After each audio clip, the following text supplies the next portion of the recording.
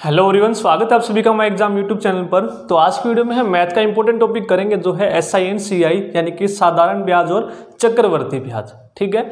अगर आप पहली बार देख रहे हैं चैनल को, आपको बता दो, अगर आपने इससे पहले की सीरीज़ नहीं देखी है तो वो भी आप ज़रूर देखिएगा। यदि आप हमारे सेकेंड चैनल से जुड़ना चाहते हैं माई एग्ज़ाम ट्रिक से तो वो भी ज़रूर शेयर कीजिएगा और सब्सक्राइब ज़रूर कीजिएगा। लिंक आपको डिस्क्रिप्शन बॉक्स में मिल जाएगा। इस चैनल पर हम क्या करेंगे? आपके मैथ एंड रीजनिंग की ट्रिक करेंगे, ठीक है? जितने भी आपके ज़बरदस्त क्वेश्चन हैं, सभी की हम ट्रिक की हेल्प से करेंगे। तो इस चैनल को भी ज़रूर सब्सक्राइब कर लीजिएगा। तो स्टार्ट करते हैं। आज की वीडियो में हम करेंगे एस आई एंड सी आई सबसे पहले हम बात करते हैं एस आई यानी कि साधारण ब्याज। साधारण ब्याज होता क्या है? सबसे पहले आपको पता होना चाहिए, साधारण ब्याज का जो फॉर्मूला होता है वो क्या होता है? P R T over hundred ये तो आप सभी को ही पता होगा पी आर टी और हंड्रेड होता है।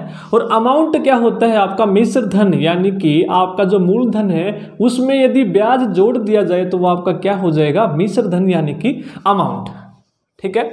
अब जैसे अब मैं आपको एक चीज़ बोलता हूँ कि दस परसेंट ब्याज पर किसी से आप सौ रुपये लेते हैं। ठीक है, दस परसेंट ब्याज पर। सिंपल भाषा में समझते हैं हम, साधारण ब्याज होता क्या है और चक्रवर्ती ब्याज और साधारण ब्याज में क्या डिफरेंस है? आपने किसी से सौ रुपए लिए, दस परसेंट साधारण ब्याज पर तीन साल के लिए, ठीक है? कितने साल के लिए? तीन साल के लिए। तो तीन साल बाद आप उसे कितनी राशि वापस करेंगे? विद मूलधन, ठीक है? प्रिंसिपल अमाउंट के साथ। अब देखिए, दस परसेंट ब्याज पे लिए आपने सौ रुपए तो ये सौ रुपये क्या हो गया? आपका मूलधन हो गया, यानी कि प्रिंसिपल हो गया। पहले आपको मैं फॉर्मूले से बताऊँगा, फिर साधारण लैंग्वेज में बताऊँगा कि इसका मतलब क्या होता है। तो यानी कि आपका जो साधारण ब्याज है, कितना लगा? पी आर यानी कि दस टी यानी कि तीन साल ओवर हंड्रेड आपने इस फॉर्मूले में रख दिए सभी के सभी तो सौ से सौ कटेगा, यानी कि कितना हो गया? तीस रुपये आपका साधारण ब्याज लग गया। तो सौ रुपये तो आप दोगे ही दोगे, साथ में तीस रुपये भी उसको वापस करोगे तो टोटल जो अमाउंट आप उसको दोगे, क्या दोगे? पी प्लस एस आई यानी कि एक सौ तीस रुपये आप उसको वापस दोगे। ठीक है? तो ये बात है साधारण ब्याज की। तो मतलब क्या है? सिंपल भाषा में आप समझते हैं, जो 10 परसेंट ब्याज है, ये आपका वार्षिक है। यानी कि तीन साल के लिए लिया आपने तो आप फॉर्मूले की बजाय साधारण एक चीज़ और बोल सकते थे, पहले साल का दस, दूसरे साल का दस, तीसरे साल का दस।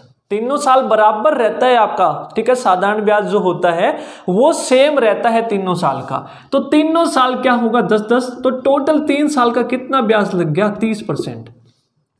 ठीक है? या फिर कह सकते हैं दस परसेंट एक साल का सौ का कितना होगा? दस रुपये रुपये में बात करें तो दूसरे साल भी दस रुपये और तीसरे साल भी दस रुपये तो टोटल कितने रुपए ब्याज दोगे आप? तीस रुपये ठीक है? इस भाषा में भी कह सकते हो। या फिर परसेंटेज की बात करें तो सिंपल आप क्या कर दोगे? ऐड कर दोगे जितने भी साल हैं। और तीस परसेंट आ गया तीन साल का तो सौ का तीस परसेंट कितना होगा?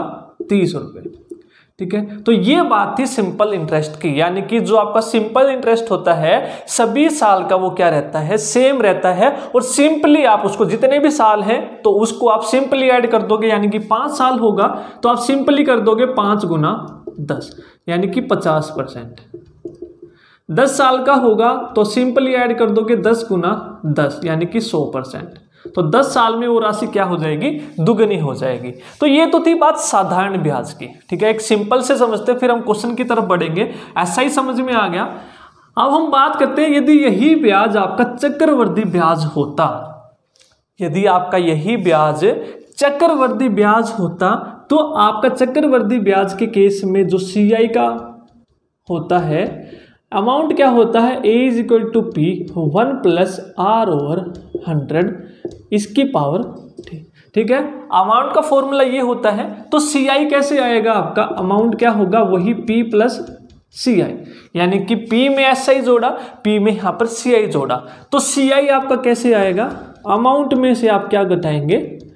पी तो ये आपके सी आई के फॉर्मूले हैं, आपको याद रखना है। तो अब हम बात करते हैं कि यही अगर आप सौ रुपये दस परसेंट चक्रवर्ती ब्याज की दर से लेते तीन साल के लिए तो आपको कितना ब्याज देना होता? ठीक है? अब समझते हैं, हम देखना, खुद ही देखना, फ़र्क क्या आएगा? ठीक है? कितना ब्याज देना होता है? यानी कि अमाउंट निकालो सबसे पहले फॉर्मूले से पी कितना लिया आपने? सौ लिया।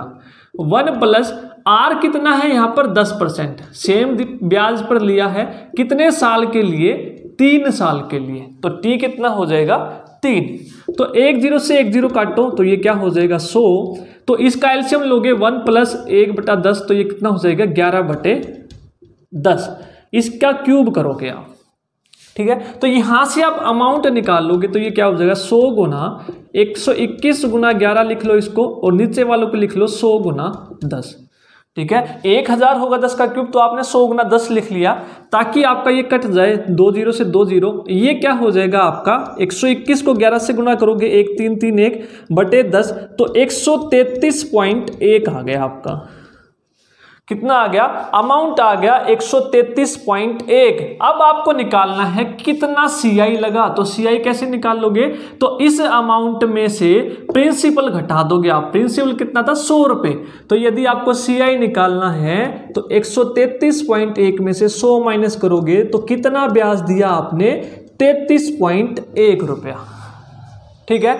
यानी कि आपने साधारण ब्याज पर लिए तो आपने कितना ब्याज दिया? तीस। यदि आप चक्रवर्ती ब्याज पर लेते हैं तो आप कितने ब्याज देंगे उसको? तैतीस पॉइंट एक। यानी कि तीन पॉइंट एक रुपये आपने ज़्यादा दिया। ठीक है? अब इसको भी सिंपल भाषा में समझते हैं, ये क्या चीज़ है? ये कैसे होता है? ये क्यों होता है ऐसे? क्योंकि सीआई के केस में आपका क्या होता है? ब्याज पे भी ब्याज लगता है। इसको नोट डाउन कर लिया आपने। इसको नोट डाउन कर लीजिए, फिर देखते हैं।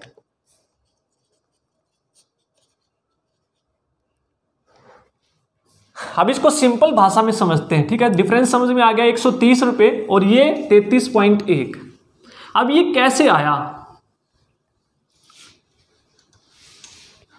अब देखना सिंपल समझते हैं हम सीआई का फंडा होता क्या है? और एस आई मान लीजिए आपने सौ रुपए लिए थे, दस परसेंट ब्याज की दर से तीन साल के लिए। तो आप इसको कैसे बोल सकते हो? दस परसेंट का मतलब क्या है? तीन साल है पहला साल, दूसरा साल, तीसरा साल। सौ का दस परसेंट कितना होगा? यानी कि एक बट्टा दस, यानी कि दस रुपये। सौ का कितना होगा? दस रुपये होगा। तो आप देखिए पहले साल दस, दूसरे साल दस, तीसरे साल भी दस। यही तो हमने बात की थी साधारण ब्याज के केस में दस दस दस। यानी कि जो साधारण ब्याज होता है, हर साल बराबर रहता है। ठीक है? अब चक्रवर्ती में क्या होता है? पहले साल पे तो आपका सीआई और एसआई बराबर होता है, यानी कि साधारण ब्याज भी और चक्रवर्ती ब्याज भी। अब दूसरे साल में आप जैसे ही जाएँगे, इस पर भी ब्याज लगेगा आपका। ठीक है? इस ब्याज पर भी ब्याज लगेगा और कितना लगेगा? दस परसेंट। तो दस परसेंट, दस रुपये का कितना हो जाएगा? दस परसेंट इसका कितना हो जाएगा? एक रुपया। ठीक है? अब जैसे ही आप तीसरे साल जाएँगे, इस पर तो ब्याज लगेगा ही लगेगा। इस पर भी लगेगा और इस पर भी लगेगा। ठीक है? ब्याज पर ब्याज लगेगा। तो ये आपका यहाँ पर कितना हो जाएगा? आप देखेंगे दस और दस ये बीस था। ठीक है? तो बीस का दस परसेंट कितना हो जाएगा? दो रुपए ठीक है? इन दोनों पर तो लगेगा ही लगेगा। और जो ये एक्स्ट्रा ब्याज आया था, इस पर भी दस परसेंट लगेगा। और ये कितना हो जाएगा? पॉइंट एक। ठीक है? तो एक का दस परसेंट कितना होगा? एक बटा दस, यानी कि पॉइंट एक। ठीक है? ये समझ में आ गया? पॉइंट एक। ठीक है? अब आप देखेंगे, ये जो वैल्यू आई, इसका दुगना होगी। ठीक है? सिंपल समझने के लिए जब क्वेश्चन करेंगे, आपको ये काम आएगा। अब ये क्या है? आपका तीनों साल का ब्याज है। तीनों साल का ब्याज है। ये जो ऊपर वाली लाइन है, ये तो आपको देगी साधारण ब्याज। कितना देगी? तीस रुपये जो हमने बेसिक फॉर्मूले से किया था। और इन सभी को आप ऐड करोगे दस, बीस, तीस, और एक तीन, और एक ये। तैतीस पॉइंट एक। ये आपको टोटल क्या देगा? चक्रवर्ती ब्याज। तैतीस पॉइंट एक, जो हमने निकाला था बेसिक फॉर्मूले से। ठीक है? यानी कि आप इस फॉर्मूले से चलेंगे, आप एसआई भी निकाल लेंगे और सी आई भी निकाल लेंगे। और दोनों का अंतर निकालना है आपको तो इस ऊपर वाली टोटल में से इस ऊपर वाली लाइन को घटा दोगे तो ये जो वाली लाइन है, ये नीचे वाली। तो ये क्या है आपका? तीन पॉइंट एक। तो ये क्या देगा आपका? सीआई और एसआई के बीच में डिफरेंस ठीक है? ये सिंपल फंडा था आपका सीआई में लगता है आपका, ब्याज पर ब्याज। या फिर आप एक तरीके से और निकाल सकते हैं। आप सभी ने एक फॉर्मूला पढ़ा होगा, x plus Y plus X Y over hundred यानी कि ब्याज पर ब्याज लगता है, दस परसेंट है। ठीक है? तो ये आपका आएगा दो साल का। फिर ये दो साल का आएगा, उसको फिर दोबारा से आप दस परसेंट जो तीसरे साल का उससे ऐड करेंगे तो आपका क्या आ जाएगा सी आई ठीक है? तो समझाने के लिए था, आप सभी को समझ में आ गया होगा एसआई और सीआई में क्या डिफरेंस होता है? ठीक है? अब हम क्वेश्चन करते हैं, देखेंगे क्वेश्चन जो पूछे जाते हैं आपके। ये आपका बेसिक मेथड है, बिल्कुल इंपॉर्टेंट मेथड है। इस मेथड से आप चलेंगे तो सभी के सभी आपके क्वेश्चन हो जाएँगे।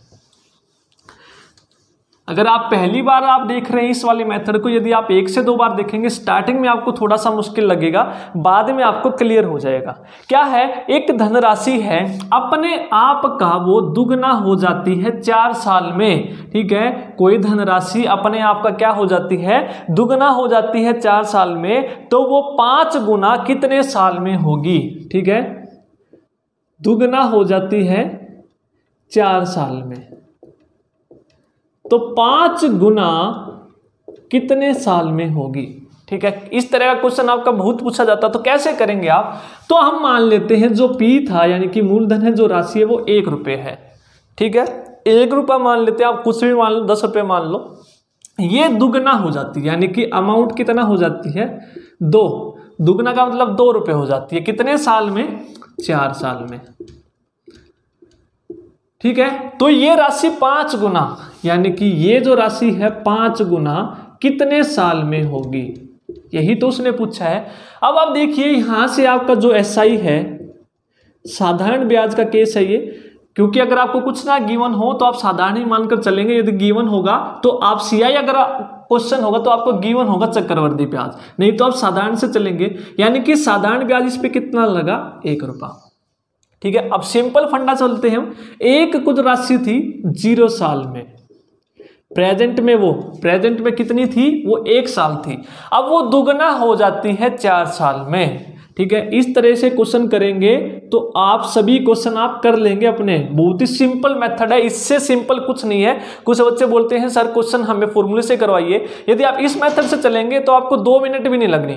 दो मिनट कह रहा हूँ मैं, पाँच सेकंड भी लग ली और जब आप फॉर्मूले से जाएँगे तो आपका बहुत टाइम वेस्ट होगा। लेकिन आपको समझाने के लिए मैंने समझा दिया कि फॉर्मूले कैसे अप्लाई करते हैं। तो आपसे पूछा गया कि वो पाँच गुना कितने साल में होगी? तो आप एक बात बताइए, मुझे ये क्या है? साल है। और ये राशियाँ हैं, ठीक है? तो ये आप देखेंगे, इन दोनों का गैप निकाल लो, इन दोनों का अंतर देख लो। इनका अंतर कितना है? एक। इनका अंतर कितना है? चार। तो साधारण ब्याज के केस में जो अंतर आया, उसको ऐड करते चले जाओगे और जितना पूछा है, वहाँ तक चुप हो जाओगे, स्टॉप हो जाओगे, ठीक है? यानी कि एक इसमें दोबारा ऐड करेंगे तीन, एक इसमें ऐड करेंगे चार, एक इसमें ऐड करेंगे पाँच। तो पाँच गुना पूछी है तो दुगना होगी चार साल में तो पाँच गुना होगी कितने साल में? ठीक है, पाँच गुना पूछिए तो पाँच गुना तक चुप हो जाओगे स्टॉप हो जाओगे। सेम ऐसे ही यहाँ पर, जितना अंतर आया था पहले का, वही अंतर आप ऐड करते चले जाएँगे, आपके पास टाइम आ जाएगा। चार में चार ऐड करेंगे, आठ, चार बारह और चार सोलह। तो आपके पास ये राशि आ गई कि पाँच गुना हो जाएगी वो कितने साल में? सोलह साल में। कितने साल में? 16 साल में। यदि आपसे पूछता चार गुना होगी तो आपका आंसर होता बारह। यदि वो पूछता तीन गुना होगी तो आपका आंसर होगा आठ साल में। ठीक है? दुगना होगी चार साल में। ठीक है? तो वेरी बेसिक क्वेश्चन था ये, और वेरी इंपॉर्टेंट क्वेश्चन था आपका। ये पूछा जाता है। ठीक है? वेरी वेरी इंपॉर्टेंट है। अब नेक्स्ट क्वेश्चन करते हैं हम। नोट डाउन कर लिया सभी ने। नेक्स्ट क्वेश्चन है, एक आदमी के पास एक आदमी उधार देता है साठ हज़ार रुपये एक आदमी क्या करता है? साठ हज़ार रुपये उधार देता है और वो क्या करता है? इस साठ हज़ार का आधा हिस्सा तो पाँच परसेंट पर देता है। कुछ हिस्सा पाँच परसेंट पर देता है और जो रेस्ट है, बाकी का जो हिस्सा है, चार परसेंट ब्याज पर देता है। ठीक है? एक आदमी के पास साठ हज़ार रुपये हैं, वो इसका कुछ हिस्सा देता है पाँच परसेंट ब्याज पर और कुछ बाकी का जो हिस्सा देता है चार परसेंट ब्याज पर देता है साधारण ब्याज पर। ठीक है? उसके बाद क्या है? If the total annual interest is पच्चीस साठ, ठीक है?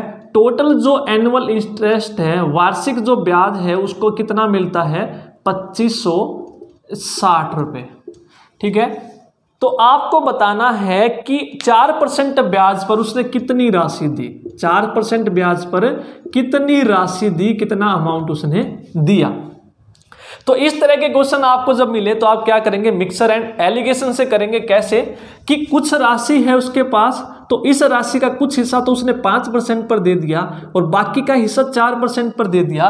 तो उसके पास जो टोटल ब्याज आया, पच्चीस तो आपको बताना है चार परसेंट पर उसने जो राशि दी थी वो कितनी दी थी।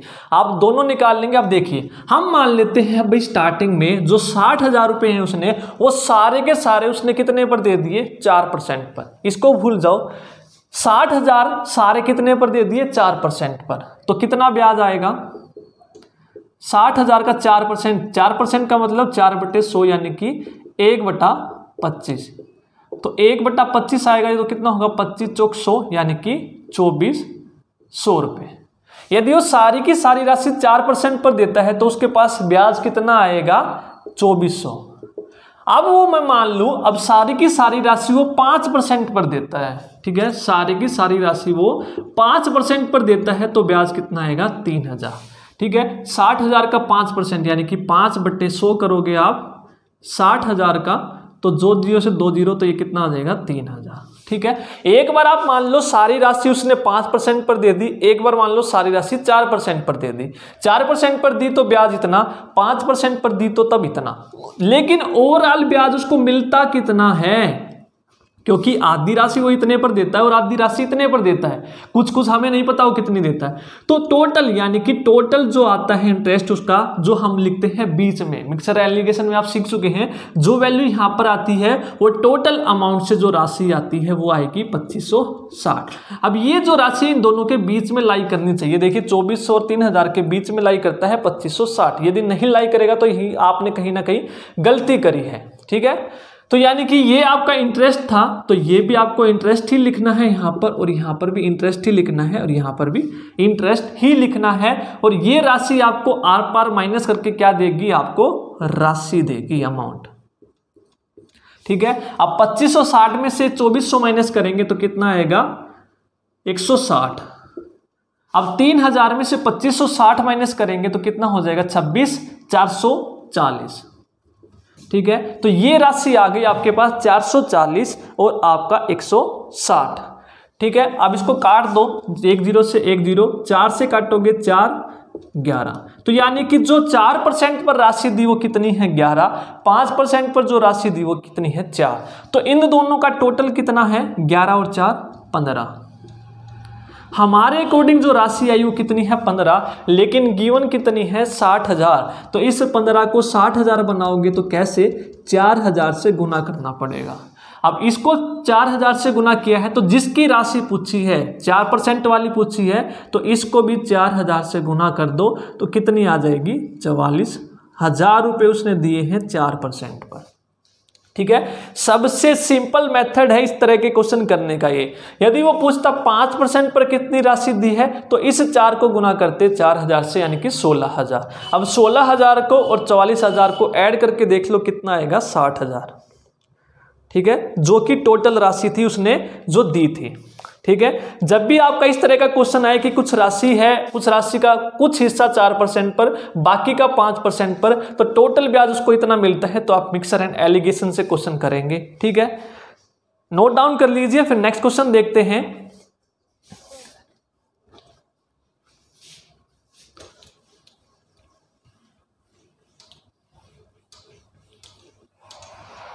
नेक्स्ट जो क्वेश्चन है in how many years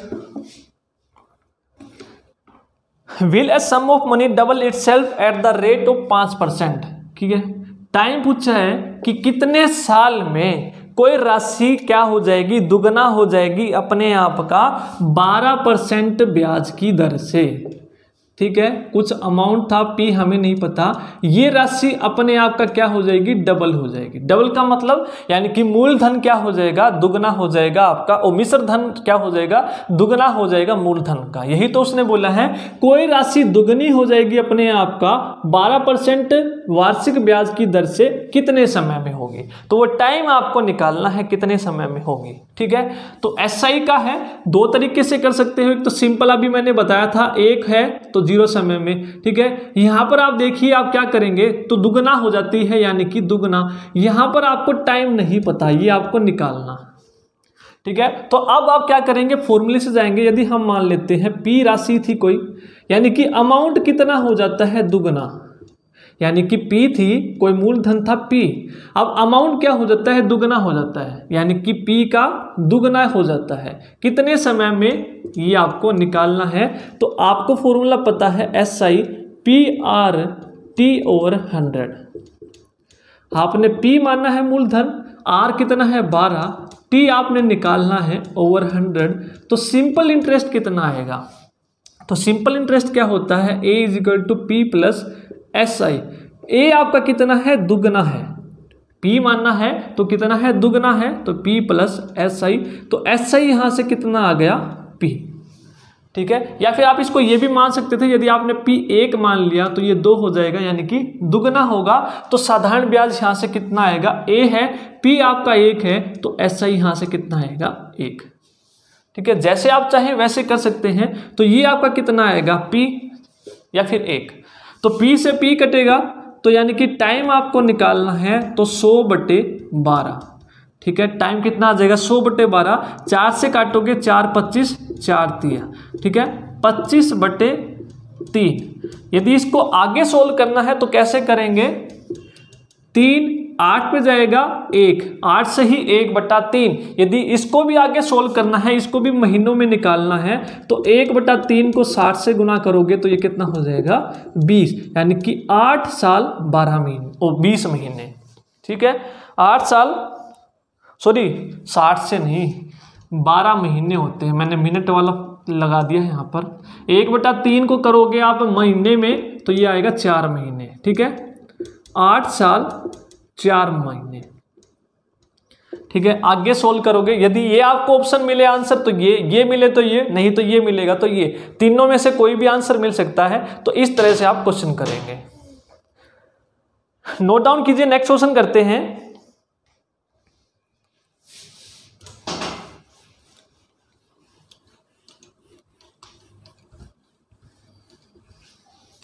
next question क्या है? The ratio of P and the amount जो रेशो है मूलधन का और मिश्र धन का। ठीक है? पी और ए का जो अनुपात है वो कितना है? एक साल का दस रेशो बारह। ठीक है? पी और ए को आपको रेशो गिवन है then the rate of interest आपको निकालना है, क्या होगा? यदि एक साल टाइम है। ठीक है, उसने क्या बोला है?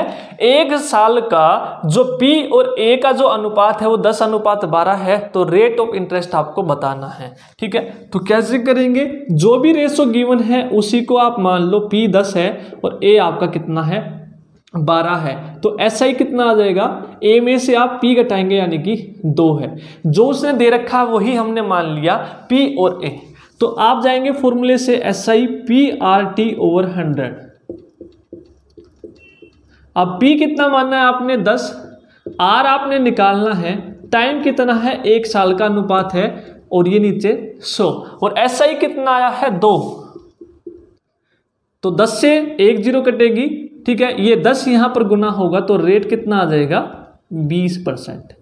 ठीक है? जो अनुपात उसने दिया था, वही हमने क्या मान ली? राशि मान ली कि यही अमाउंट है और यही क्या है? प्रिंसिपल है। तो आपको कुछ नहीं करना डायरेक्ट फॉर्मूले में पुट करनी है वैल्यू ठीक है?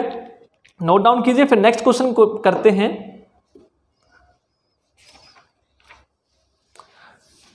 तो ये क्वेश्चन सभी के सभी इंपॉर्टेंट है। आपके एग्ज़ाम में आए हुए क्वेश्चन है। एसआई के इसी तरह के क्वेश्चन आपके पूछे जाते हैं। यदि आपको वीडियो पसंद आ रही तो प्लीज़ वीडियो को लाइक ज़रूर कीजिए। नेक्स्ट क्वेश्चन है, क्या है?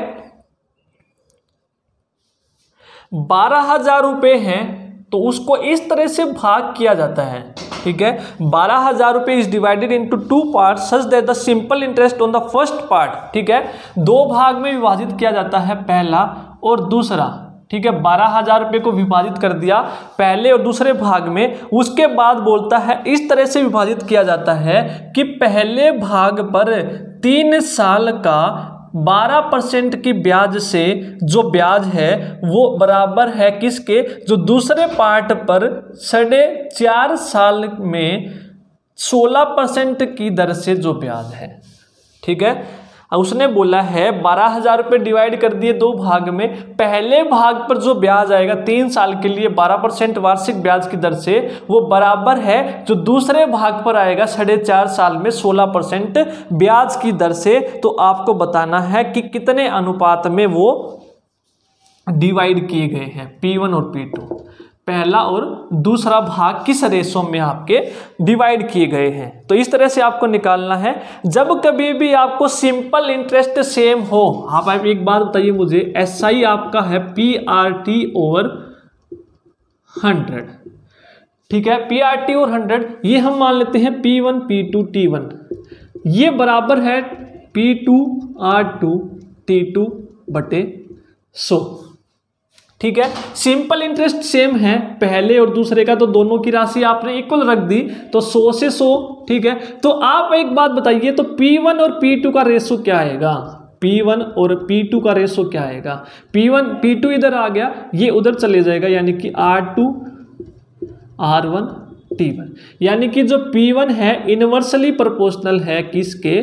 R और T के। ठीक है? सिंपल फंडा समझ में आ गया। जब कभी भी आपका साधारण ब्याज सेम हो तो P1 और P2 क्या होंगे? इनवर्सली प्रोपोर्शनल होंगे। या फिर कहें हम P1 और P2 का जो अनुपात होगा, वो किसके इक्वल होगा? R1 T1 और R2 है तो R2 T2 ठीक है? एक बट्टे आर वन टी वन और एक बट्टे आर टू टी टू निकाल लो तो ये क्या दे देगा आपको? पी वन और पी टू ये आप यहाँ से देख चुके हैं कैसे आया। ठीक है? तो पहला जो ब्याज है वो कितना है? बारह परसेंट है। टाइम कितना है? तीन साल। तो यानी कि बारह गुना तीन कितना हो जाएगा? एक बटा छत्तीस। बारह तिया छत्तीस। अब ये चार से ही एक बटा दो है तो चार दूनी आठ एक नौ बटे दो आप इसको लिख लोगे। ठीक है? नौ बटा दो साल। तो आर टू क्या है? आपका सोलह है। और टी टू कितना है? नौ बटे दो। तो ये कटेगा आठ और आठ नीम बहत्तर आएगा। ठीक है, क्या आएगा? बहत्तर, यानी कि एक बटा बहत्तर। अब जो भी रेशो आप फ्रैक्शन में नहीं रखते हैं, अब इसको फ्रैक्शन से हटाना है तो इनके एलसीएम से आप क्या कर दोगे? गुना, यानी कि बहत्तर से आप गुना करेंगे तो ये कितना आ जाएगा? दो। और ये कितना आ जाएगा? एक। जो राशियाँ हैं, कितने अनुपात में आपने डिवाइड करी थी? दो अनुपात एक में। यही उसने पूछा था। ठीक है? कितने अनुपात में? दो अनुपात एक में। बारह हज़ार रुपए की राशि आपने कितने अनुपात में डिवाइड करी? दो अनुपात एक में।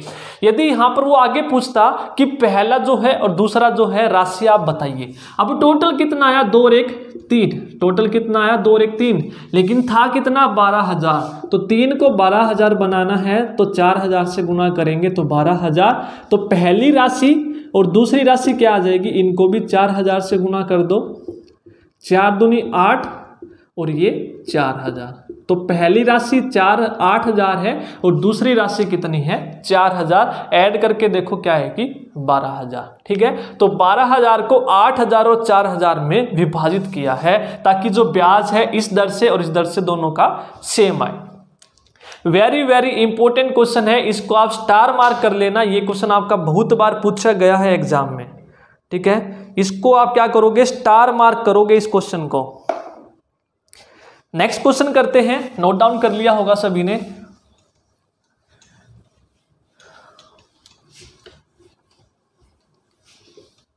नेक्स्ट क्वेश्चन क्या है? A sum of money becomes 460 in तीन साल। ठीक है? एक राशि है।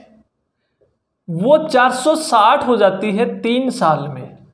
ठीक है? उसके बाद पाँच सौ रुपये हो जाती है वो पाँच साल में वही राशि। ठीक है? तो find the sum of rate of interest तो आपको क्या बताना है? तो वो राशि बतानी है और रेट ऑफ़ इंटरेस्ट बताना है कि ब्याज की दर क्या है।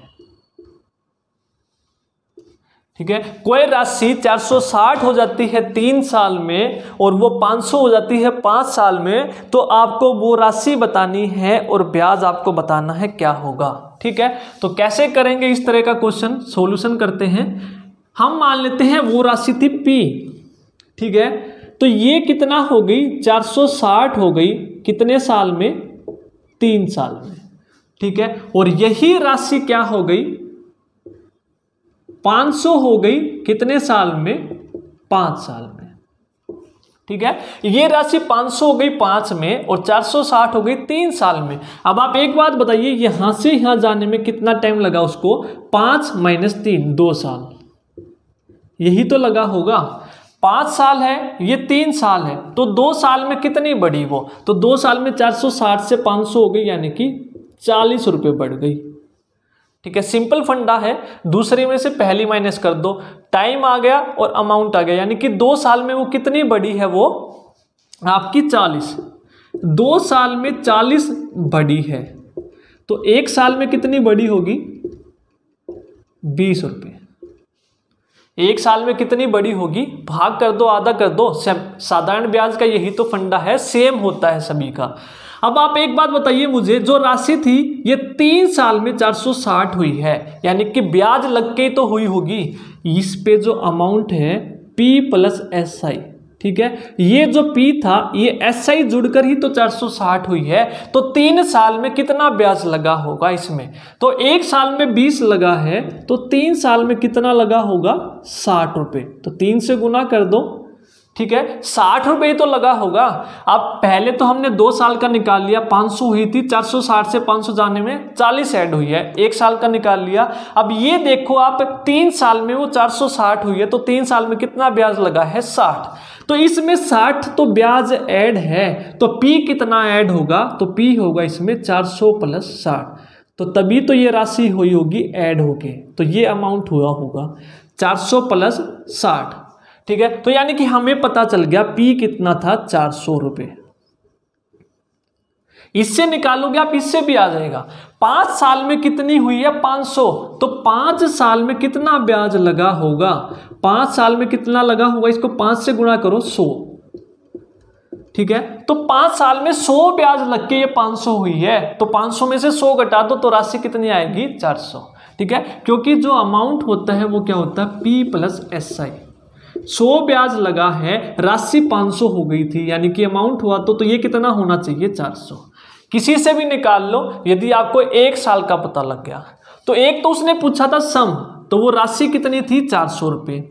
अब दूसरा क्वेश्चन उसने पूछा है रेट ऑफ़ इंटरेस्ट तो रेट ऑफ़ इंटरेस्ट आप कैसे निकालते हैं? P R T over hundred P कितना है? चार सौ।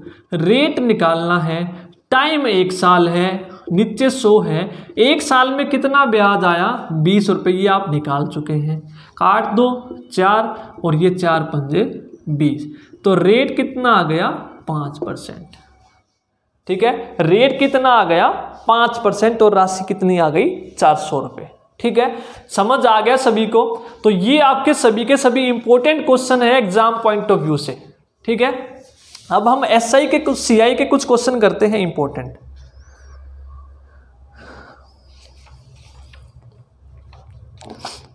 ठीक है सीआई के क्वेश्चन करते हैं कुछ। अब सीआई का पहला क्वेश्चन हम वही करते हैं जो हमने एसआई में किया था। कोई राशि दुगना हो जाती है, ठीक है? पहला क्वेश्चन करते हैं सीआई का।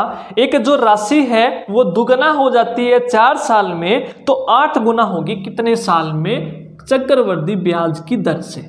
एक राशि है, वो क्या हो जाती है? दुगनी। चार साल में। एस आई में भी हमने एक क्वेश्चन किया था सबसे पहला ही क्वेश्चन तो आठ गुना हो जाएगी वो कितने साल में? तो कितने साल में होगी वो आठ गुना? कैसे करेंगे? वही प्रेजेंट में वो एक थी ज़ीरो टाइम प्रेजेंट का मतलब ज़ीरो टाइम अभी कोई राशि एक है ज़ीरो समय में. अभी हम जो करते हैं, जैसे हमने एज के क्वेश्चन आपको कराए थे प्रेजेंट को हम क्या मानते हैं? ज़ीरो टाइम मानते हैं. तो दुगनी हो गई चार साल में. तो दुगनी का मतलब एक का दुगुना दो। कितने साल में? चार साल में। ठीक है? तो आठ गुना होगी कितने साल में? तो एस आई में हमने क्या किया था? इसका गैप निकाला था और इसका गैप निकाला था। ज़ीरो, चार का चार। इसका एक और वो ऐड करते गए थे। ठीक है? साधारण ब्याज के केस में।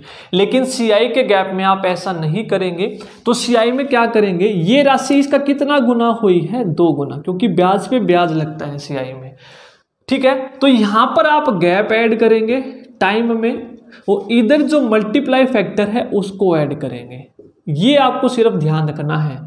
एस आई में ये वाला और सी आई में ये वाला तो सेम है गैप ऐड करना है, लेकिन इधर वाला जो अमाउंट में आप करेंगे सी आई में आप मल्टीप्लाई करेंगे, ना कि डिफरेंस को ऐड करेंगे। तो ये दो गुना हुआ है, यानी कि मल्टीप्लाई किया है तो आगे गुना दो करोगे तो कितनी हो जाएगी? चार। इसमें जो गैप है ऐड करेंगे आठ। तो चार गुना हो जाएगी आठ साल में, लेकिन पूछा है आठ गुना, फिर दोबारा इसको दो से गुना करोगे तो ये आ जाएगी आठ, फिर यहाँ पर गैप ऐड करेंगे, यानी कि बारह। तो आठ गुना हो जाएगी कितने साल में? बारह साल में, ठीक है? तो ये सिर्फ़ आपको ध्यान रखना है, यहाँ पर हम मल्टीप्लाई करेंगे, ना कि गैप ऐड करेंगे। इसका कितना गुना हुई है? ये दो गुना। ठीक है? स्टार्टिंग वाला देखना सिर्फ़ कितना गुना हुई है? दो गुना। तो इस दो को गुना करते चले जाओगे जहाँ तक पूछा है। ठीक है? नेक्स्ट क्वेश्चन करते हैं। नोट डाउन कर लीजिए एक बार।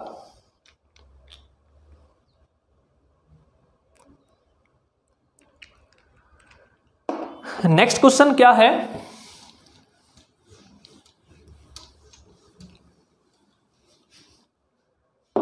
In what times P becomes तेरह सौ इकतीस एट द दस percent per annum compounded annually तो उसने बोला है कि यदि पी एक हज़ार रुपये है अमाउंट है एक तीन तीन एक, ठीक है? तो अगर जो रेट है वो दस परसेंट है कंपाउंडेड एनुअली कंपाउंडेड एनुअली चक्रवर्ती ब्याज है तो कितने समय में होगा? टाइम बताना है आपको, ठीक है? क्या बताना है? टाइम बताना है कि कितने समय में ये इतनी राशि हो जाएगी।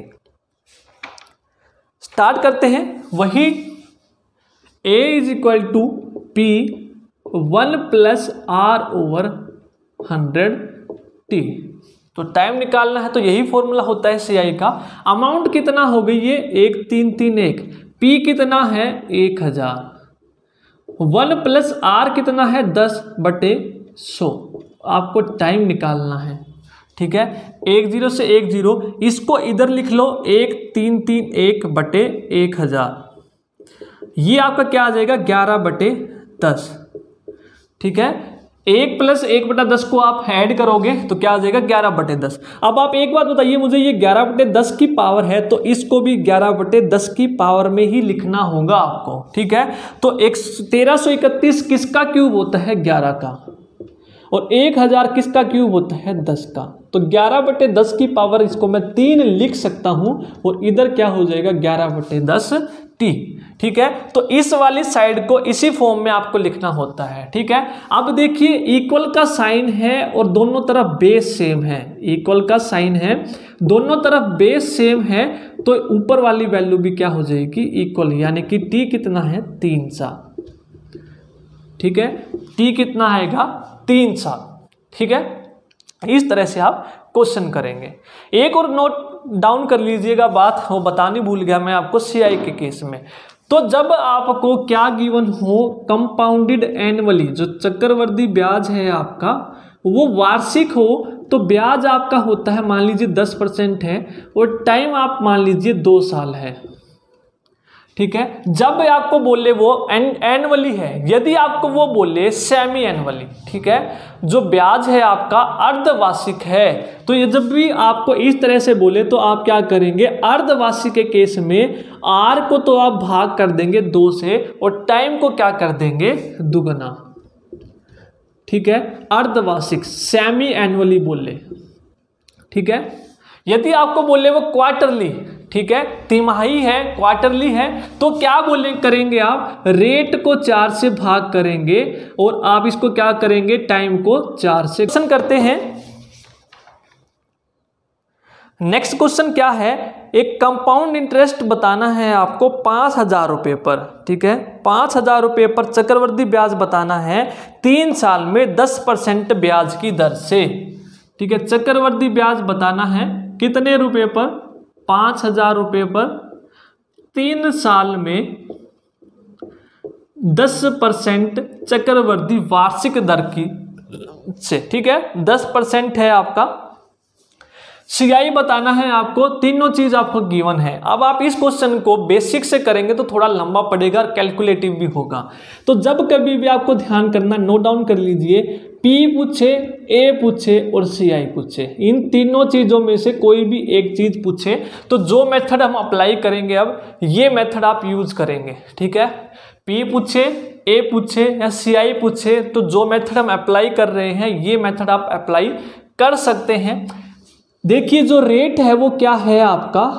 एक बटा दस। क्या है एक बटा दस? मतलब क्या है? दस रुपये पर एक ब्याज लग रहा है। दस रुपये पर क्या लग रहा है? एक ब्याज लग रहा है। और टाइम कितना है? तीन साल। ठीक है? दस रुपये पर एक ब्याज लगा तो कितना हो गया ग्यारह? पहले साल।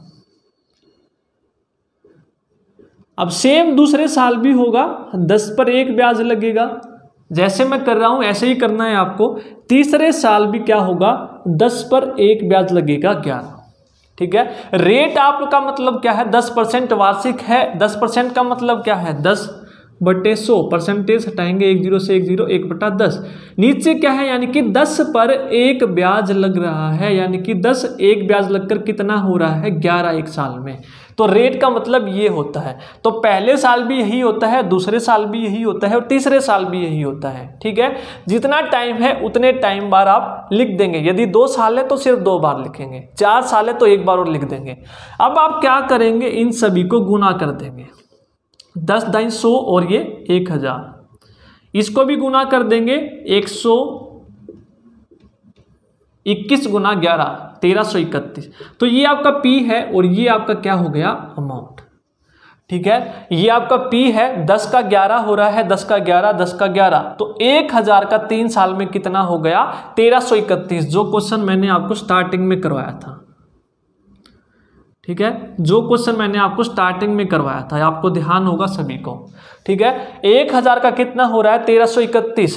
तो ये P है, ये A है तो दोनों का डिफरेंस आपको क्या देगा? सी आई क्या देगा? चक्रवर्ती ब्याज। यही तो होता है चक्रवर्ती ब्याज। अमाउंट में से आप P घटा दें। अब आपको गिवन कितना है? पाँच हज़ार पी आपको गिवन है। आपके अकॉर्डिंग तो आया एक हज़ार तो गिवन कितना है? पाँच हज़ार। तो इसको पाँच हज़ार बनाने के लिए क्या करना पड़ेगा? पाँच से गुना अब इसको पाँच से गुना किया है, पूछा था उसने सीआई तो सीआई कितना आया? तीन सौ इकतीस। आपके अकॉर्डिंग आया तीन सौ इकतीस, इसको पाँच से गुना किया है तो इसको भी क्या करो? पाँच से गुना कर दो। तो ये कितना आ जाएगा आपका? सोलह सौ पचपन। ठीक है? पाँच पाँच दिए पंद्रह, एक, सोलह सौ पचपन आपका सी आई आ जाएगा। ठीक है? यदि अमाउंट पूछता तो इसको भी क्या करते? पाँच से गुना करते। क्योंकि इसको पाँच से गुना किया है। तो इस तरह से आप करेंगे। इन तीनों चीज़ में से आपसे कोई भी एक चीज़ पूछ ले तो ये वाला मेथड आप अप्लाई कर सकते हैं। वेरी सिंपल मेथड है आपका ये। यदि आप फॉर्मूले से जाएँगे तो थोड़ा लंबा पड़ सकता है आपको ये क्वेश्चन ठीक है? आगे चलें। नेक्स्ट क्वेश्चन करते हैं।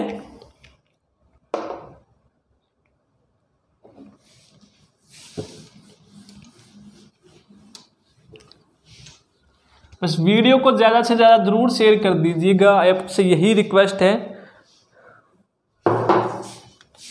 नेक्स्ट क्वेश्चन करते हैं, क्या गिवन है? इफ़ द अमाउंट इज़ जो अमाउंट है, वो है तीन से ही तीन बटे आठ गुना है पी का। ठीक है? कितने साल में हो जाता है वो? तीन साल में हो जाता है। ठीक है? Compounded annually then the rate interest per annum is ठीक है? तो आपको बताना है रेट ऑफ़ इंटरेस्ट क्या होगा। ठीक है? तो रेट ऑफ़ इंटरेस्ट आपको बताना है क्या होगा। तीन साल में कंपाउंडेड चक्रवर्ती ब्याज की दर से ये इतना हो जाता है तो रेट बताना है आपको क्या होगा। वेरी सिंपल है ये तो आप फॉर्मूले से कर लेंगे, आठ या चौबीस और तीन, सत्ताईस बटे आठ। ठीक है, इसको पहले फ्रैक्शन हटाएँगे। तो डायरेक्ट फॉर्मूला यूज़ कर लेंगे A is equal to P one plus R over hundred. जब आपको लगता है ना कि फॉर्मूले से आप जल्दी कर सकते हैं तो फॉर्मूला अप्लाई करें। जब आपको लगता है कि फॉर्मूले में टाइम लगेगा, अब आप एक बात बताइए, इस तरह से वैल्यू आ गई यहाँ पर आर की कुछ पच्चीस आया अट्ठाईस बटे छब्बीस, उसका क्यूब, ठीक है? तो क्यूब करने में ही टाइम लगेगा तो आप जो प्रीवियस क्वेश्चन करवाया था, उस मेथड से आप जाएँगे, ठीक है? अमाउंट कितना है? सत्ताईस बटे आठ हो गया, पी का तो पी वन प्लस आर आपको निकालना है बटे सो, टाइम कितना है तीन साल। अब पी से पी कट गया, ठीक है? अब इसको क्या करेंगे? इसी फॉर्म में बनाएँगे, ठीक है? क्यूब की फॉर्म में। तो सत्ताईस और आठ, किसका क्यूब हो सकता है? तीन और दो का क्यूब। ठीक है? यदि पावर है तो तो इसको पावर सेम बनाओ, बेस इक्वेट कर दो। यदि बेस सेम है तो पावर को इक्वेट कर दो, ठीक है? One plus R over hundred cube अब पावर इक्वल है तो बेस आपके क्या हो जाएँगे? इक्वल यानी कि तीन बटा दो is equal to one plus R over hundred तो ये आपका हो जाएगा तीन बटा दो माइनस एक आर बटे सौ. तो ये कितना आ जाएगा? एक बटा दो आर बटा सौ. तो पाँच पचास से कटेगा तो रेट आ गया आपका पचास परसेंट. ठीक है? इसमें तो आपको सिर्फ़ कैलकुलेशन करनी थी पचास परसेंट. ठीक है? नोट डाउन कीजिए नेक्स्ट क्वेश्चन करते हैं। ये तो सिर्फ़ कैलकुलेशन वाला था।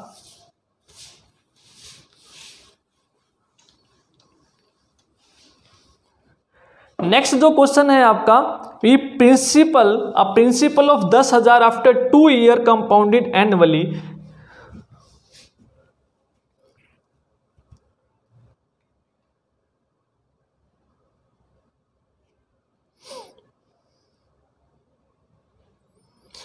क्या गिवन है आपका? पी आपको गिवन है दस हज़ार। अब आप देखिए, इस तरह का क्वेश्चन आप कैसे करेंगे? After two year compounded annually the rate of being the rate of interest being दस परसेंट। पहले साल जो रेट है वो कितना है? दस। और दूसरे साल जो रेट है, ब्याज है वो कितना है? बारह परसेंट है। ठीक है? अलग अलग दे दिया तो दो साल में अमाउंट की राशि कितनी होगी? मिश्र धन क्या हो जाएगा? ठीक है? मिश्र धन बताना है आपको कितना हो जाएगा। अब आप इस क्वेश्चन को सेम कर, एक तो फॉर्मूले से कर सकते हैं। कैसे? A is equal to P one plus R over hundred ठीक है? जब आपके रेट ऑफ़ इंटरेस्ट अलग अलग हो तो इस तरह से आप करेंगे। ठीक है? R over hundred three one three two ठीक है? अलग अलग लिखेंगे तो यदि आप फॉर्मूले से करें तो पी राशि है आपकी कितनी? दस हज़ार। वन प्लस आर पहले साल का कितना है? एक साल का है। दूसरे साल कितना है? बारह। वन प्लस बारह बटे सौ। एक ही साल है इसका भी। तो इनको गुना करेंगे तो आपका अमाउंट आ जाएगा। ठीक है? या फिर जो मेथड अभी मैंने बताया था, क्या पी ए या सी आई पूछे तो आप ये मेथड अप्लाई कर सकते हैं। कौन से वाला? पहला साल दस परसेंट है। दस परसेंट का मतलब एक बटा दस। यानी कि दस पर एक ब्याज लग रहा है, कितना हो जा रहा है? ग्यारह। पहले साल। ठीक है? और दूसरे साल क्या हो रहा है? बारह परसेंट ब्याज है। दूसरे साल क्या है? बारह परसेंट ब्याज है। तो बारह परसेंट का मतलब क्या है? बारह परसेंट का मतलब क्या है? बारह बटे सौ। यानी कि सौ पर बारह ब्याज लग रहा है, सौ का एक सौ बारह हो रहा है, या फिर इसको और छोटा कर सकते हो, चार तिया, चार पच्चीस। यानी कि तीन बटे पच्चीस। पच्चीस पर तीन ब्याज लग रहा है दूसरे साल। तो यानी कि पच्चीस पर तीन ब्याज लग रहा है तो कितना हो रहा है ये? अट्ठाईस। ठीक है? पच्चीस पर कितना ब्याज लग रहा है? तीन तो कितना हो रहा है ये? अट्ठाईस हो रहा है। ठीक है? तो अब आपको कुछ नहीं करना, पहला साल आ गया, दूसरा साल आ गया, अब इनको गुना करना है तो इसको गुना करोगे तो ये कितना होगा, ढाई सौ, और अट्ठाईस को इससे गुना करोगे, दो सौ अस्सी, और आपका अट्ठाईस तो ये कितना हो जाएगा, आठ, तीन सौ आठ। तो ये आपका पी आ गया, ये आपका अमाउंट आ गया। पूछा क्या है आपसे? आपसे पूछा है, क्या पूछा है इसमें? अमाउंट पूछा है आपसे, ठीक है? तो अमाउंट पूछा है तो ये अमाउंट है तो आपके अकॉर्डिंग पी पच्चीस कितना आया है? 250 लेकिन गियोन कितना है? दस हज़ार। तो 250 को दस हज़ार कैसे